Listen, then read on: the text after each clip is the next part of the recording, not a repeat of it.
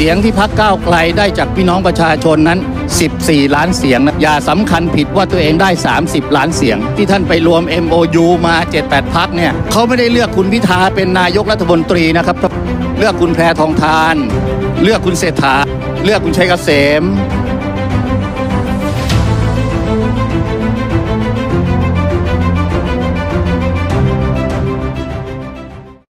การทำหน้าที่ในรัฐสภานี้เนี่ยนะครับท่านประธาน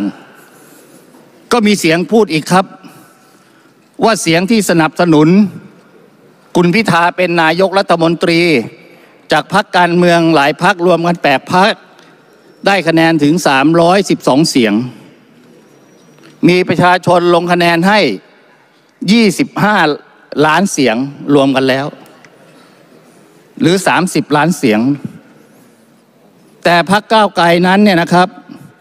ได้คะแนนเสียง 14 ล้านเสียง จริง ๆ แล้วเนี่ยครับท่านประธานครับพอเอาตัวเลขมารวมเนี่ยทำให้ประชาชน เขาก็กล่นด่าวุฒิสภาอีกครับท่านประธาน ว่าก็ในเมื่อมีประชาชนสนับสนุนเลือกคุณพิธาถึง 30 ล้านเสียงแล้วเนี่ยนะครับ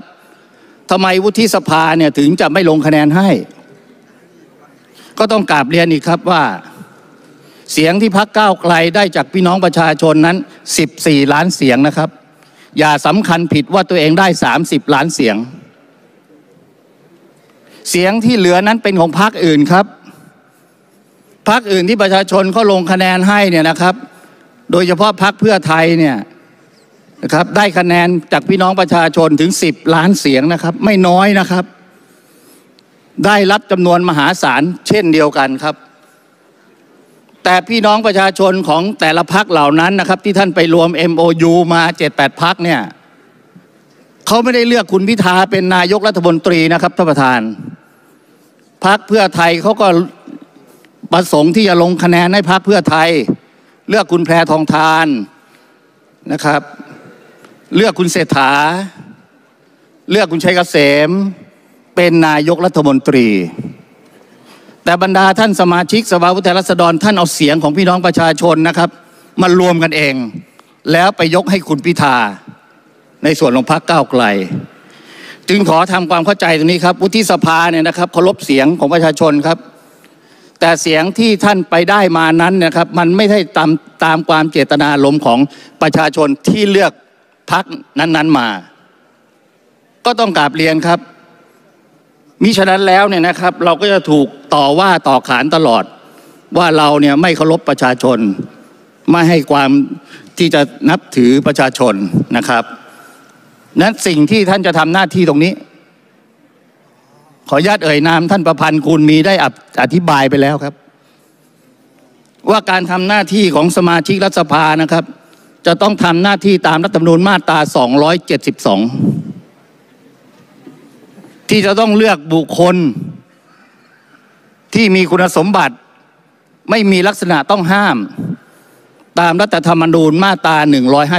159 ซึ่งกำหนดคุณสมบัติในเรื่องห้ามถือหุ้นสื่อไอทีวีไว้นั่นแหละครับ ตามมาตรา 98 วงเล็บ 3 นี่เป็นคุณสมบัติสำคัญครับท่านประธานครับคุณสมบัติที่สมาชิกที่สภาหรือสมาชิกสภาผู้แทนราษฎรนะครับ ต้องใช้ดุลพินิจของท่าน เห็นชอบบุคคลที่สมควรเป็นนายกรัฐมนตรี เพราะฉะนั้นความเห็นชอบหรือความสมควรอยู่ที่เงื่อนไขเรื่องคุณสมบัติ ลักษณะต้องห้าม ถ้าหากว่าท่านยังมีความคิดหรือดำเนินการตามมาตรา 159 โดยไม่คำนึงถึงเรื่องคุณสมบัติ ที่มีความปรากฏชัดอยู่ในปัจจุบันแล้ว ก็เท่ากับว่าท่านกระทำการผิดรัฐธรรมนูญ หรือพรรคอื่นๆด้วยนะครับ ก็ต้องฝากตรงนี้ไว้นะครับ เพราะฉะนั้นในส่วนวุฒิสภาเองให้ความสำคัญในเรื่องเหล่านี้ และผมยืนยันหลักการสำคัญมาตลอดครับท่านประธาน ว่าการจะทำหน้าที่เป็นผู้นำประเทศ เป็นนายกรัฐมนตรี หรือเข้าไปบริหารประเทศนั้นเนี่ยนะครับ จะต้องมีพฤติการหรือการกระทำที่แสดงออกอย่างชัดเจน ในการที่จะไม่